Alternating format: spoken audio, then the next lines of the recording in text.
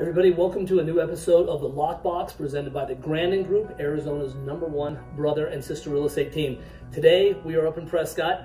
My sister is somewhere in here, but I brought my son Jaden, who's going to help uh, interview Mayor Greg of Prescott. This is an incredible interview. Um, we really want to thank the entire town for giving us the 20 minutes to interview the mayor. I know he's probably got better things to do than talk to us, but it's a great time. We love Prescott. We are really happy and proud to be selling homes up here. If you have any questions, reach out to us. It's Jason and Stacy Grandon. Let's go meet the mayor. Today we are really honored to be here with Mayor Greg of Prescott, Arizona.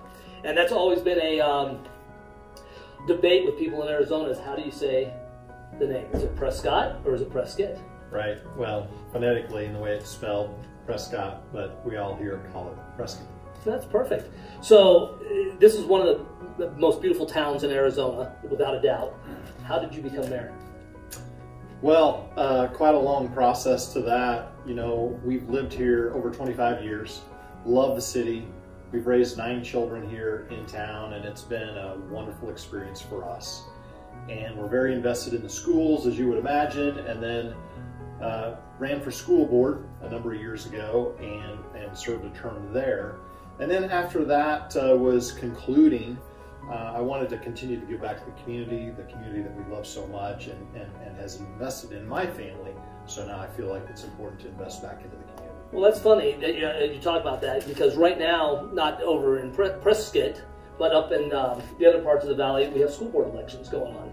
So, as a former school board member, how important is it for people to get involved in the school board? Because uh, uh it's an unpaid full time position, basically. Uh, that is correct. Uh, the school board position was not paid, and uh, the mayor pays a little bit, not a whole lot. But it's important for parents, I believe, to be involved in their children's education.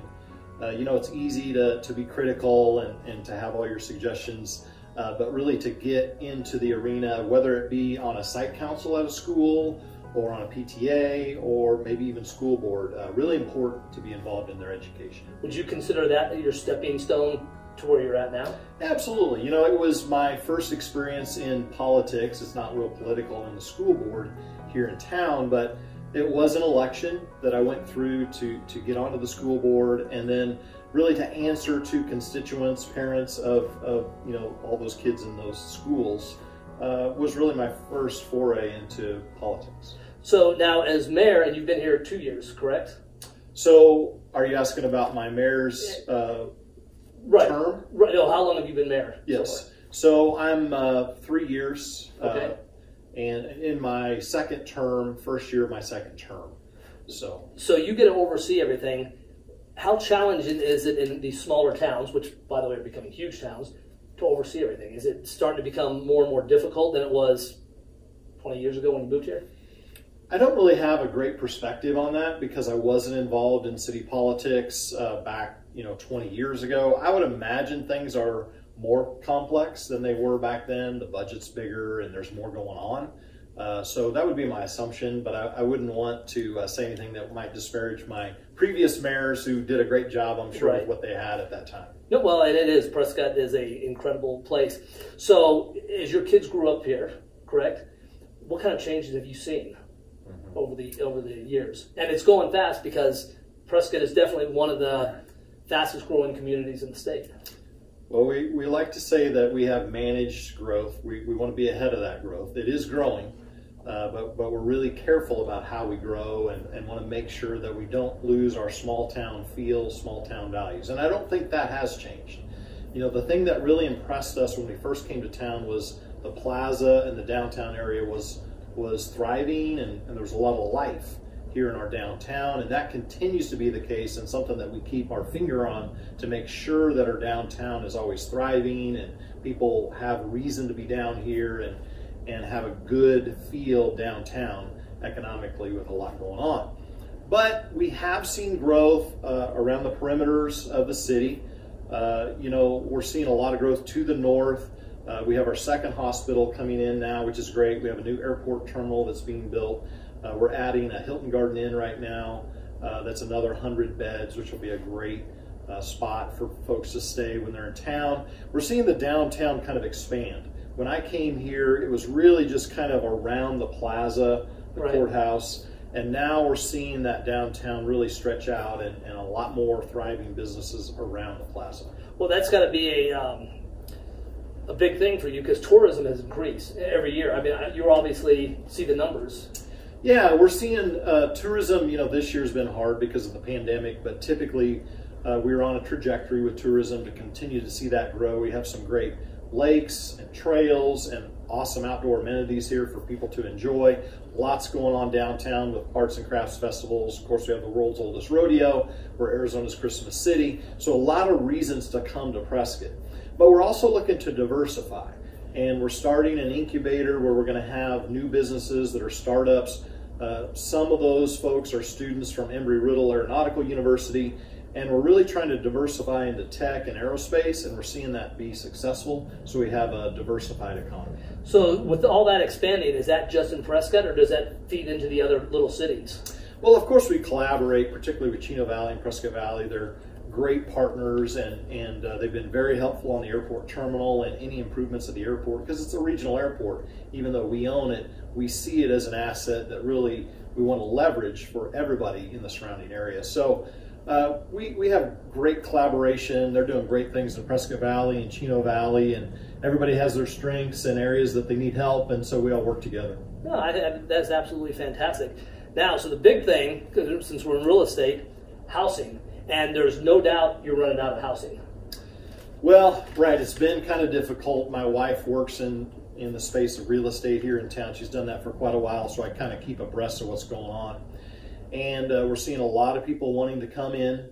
We have a pretty low inventory right now, and particularly right now, the market is a seller's market, and we're seeing uh, you know people competing for those homes that are on the market right now. So not a bad thing. I think what we want to do here in the Tri-City area is really look at how can we get more workforce housing and and that market from like two to 350,000 Right. is really important that we have that in inventory and it's something that that will hopefully get more of that uh, moving forward. And you're going to see a, are you going to see a big uh, business boom here over the next decade? Companies bringing their uh, Well, products here. We, we have seen a, a little bit of that happening from California. Uh, we have a group called CP Tech, and it's a combat proven technology.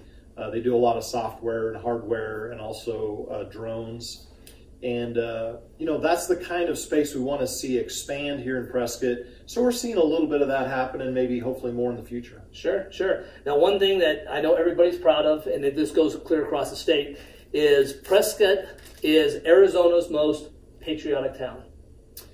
Yeah, we're very proud of that. You know, we have a, a very large population of veterans in our city, and we're, we're thankful for their service and, and want to do everything we can to honor them. We have a Veterans Day parade coming up November 11th here around the plaza, and we'll get the opportunity to uh, publicly and formally thank all of our veterans.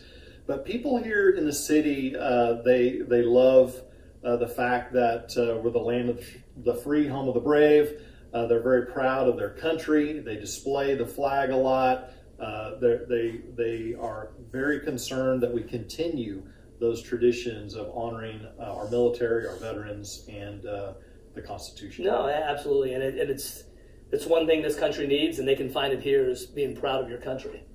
And it's great when you drive into town, you see a lot of motorcycles and the flags flying and stuff like that. Uh, we're directly across from, I think, one of the greatest monuments in Arizona, the old church, Uh, which church are you talking the about? one direct, or the uh, courthouse. Sorry. Oh, the courthouse. The courthouse. Okay, yeah, the courthouse is uh, very iconic. Uh, it's it's a place where people are attracted to that space. Uh, great lawns around there, and during the pandemic, we've seen a lot of people just gathering there informally, uh, playing games or hanging out or just visiting or having a lunch that they bring uh, to the plaza. So we're very fortunate. Uh, you can't duplicate the courthouse Right. and the plaza. It's uh, it's a real icon. It is, it is, and it's the, definitely the centerpiece of town. Okay, so I know a lot of people want to know about you, so now we'll get personal. What do you like to do for fun?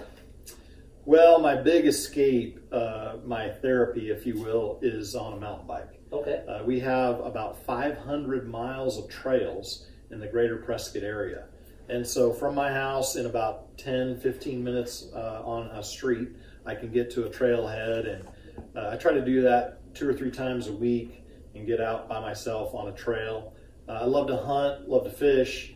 Uh, just so many great opportunities here in town to get outside. And Sure. I just love to be outside. And then when you're with the family, what do you guys like to do for fun? Yeah, you know, uh, we're we're kind of homebodies. It's kind of funny. We we like staying at home on the back deck around the fire, and and uh, we like to play cards and games and just have fun at home. But uh, when we get out, we like to go to the lake. We'll either go to Lake Pleasant or Lake Powell and get out on the boat and and have some fun out there on the water. All right. And then favorite place to eat. And then there are some great places, Wow. and, and they're not commercialized here. This so- is uh, this is a tough one. Uh, you know, everyone's going to be watching to see what I have to say here, but we have so many great offerings. You know, they're all mom and pop. You know, we we have a few chains here, but uh, there's so many great offerings uh, around town that are all just local flavor. Uh, you know, Rose's Pizzeria, the Barley Hound, El Gato Azul, uh, Murphy's, Gurley Street Grill. Um, I can go on and on and on. There's so many. I I, I can't just pick one. no, absolutely, it's great. Favorite band. Oh, my favorite band. Well, Five in the Wheel's pretty good, uh, mostly country flavor, and so we haven't seen a lot of that lately. So hopefully they'll start coming back. This is great. So for all of you watching, this is uh, probably one of the uh, finest mayors in the state. Easy, uh, accessible to, to talk to him. You answer your emails, which I think is just absolutely fantastic. So you guys get a trip, come on up here to Prescott, Arizona, check it out, support the town, support the locals. It is an absolute beautiful community. And if you're looking at houses, you better get moving on it because they're selling out quick, right? That's right. Perfect. Is there anything else you want to tell your uh, fans? I don't, I don't think so. You know, we just uh, love having the folks uh, from around the state visit Prescott. Always welcome here, and uh, want to take good care of those people that uh, come and, and come to Prescott, Arizona. Well, I appreciate it. That, that is great. We do have one extra treat for you. We're going to have uh, Jaden Grandon ask you a couple questions, but uh, I want to thank you for your time today. All right, thank you. Thank you. Jaden, My son here, and uh, he's got a few questions for uh, Mayor Greg of Prescott. I'm going to step out. Great meeting you. Yeah, thank you. Good luck. Awesome. Hey, Jade. Well, thank you, Mayor Greg, for answering my questions. It's very nice to meet you.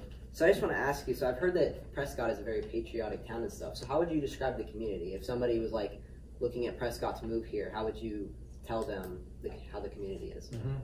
Well, the you know the title, the most patriotic city, is is very relevant for us.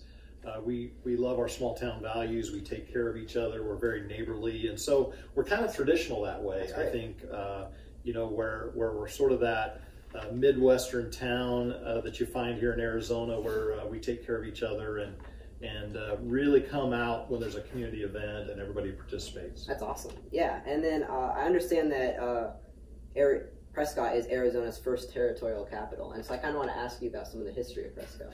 Yeah, that's right. So we've been the territorial capital a couple different times. Uh, back in 1864, I believe, uh, is when it got started. And, uh, you know, I think because of the mining and the cattle industry and everything, this was kind of seen as a focal point in the state. And so I think that's why uh, the territorial capital started here in Prescott. Uh, we do have the governor's mansion here uh, in, in- at the Sharlot Hall Museum. And so that's a great stop. If folks are more interested in our history, uh, I would head over to Sharlot Hall Museum. And So how is the holidays here too? Like, is that you guys pretty festive, like with Christmas, Fourth of July, Halloween, and such? Yeah, we mentioned the Veterans Day Parade. Fourth of July is a huge deal for us. It was really difficult for us to cancel our parade and some of those festivities around the Fourth of July, but Fourth of July is a huge deal for us with the rodeo and just uh, folks wanting to come out and celebrate our freedom. And then we're Arizona's Christmas City, and so uh, here coming up really soon, lots of great activities that we intend to uh, hold here in the city uh, in the midst of the pandemic. We think we can do it safely because they're mostly outdoor events. So uh, yeah, Christmas is a really big deal for us. Awesome. And how is the schooling going too in Prescott right now? Like, are you guys open? Are most schools open? Right. So schools mixed bag. You know, most private schools are open. Uh, there's some s- smaller schools that are starting to open, and then uh, Prescott Unified School District is on a hybrid system right now. So my kids are going to two days a week, traditional classroom in person. And then the other three days of the week, you either do virtual or you can go into school and do virtual there. Yeah. And are there like a lot of clubs and things that kids can do outside of school? Uh, absolutely. No, there's a lot of different opportunities for kids here in the city to get involved, and and uh, you know even at the schools as well. Lots of great clubs and extracurricular. And I've heard that I think you were talking about this before. There's a ton of stuff to do in Prescott, like on your leisure time. Like, is there a bunch of hiking and stuff to do? Yeah, that's right. I mean, it's mostly outdoor based, uh, but uh, you know, trails and uh, lakes and uh, lots of opportunities. So this would be the perfect place for somebody that really likes to get out in the nature and stuff. Absolutely. Yeah, Awesome. absolutely. Well, thank you for answering my questions. Yeah, thank you.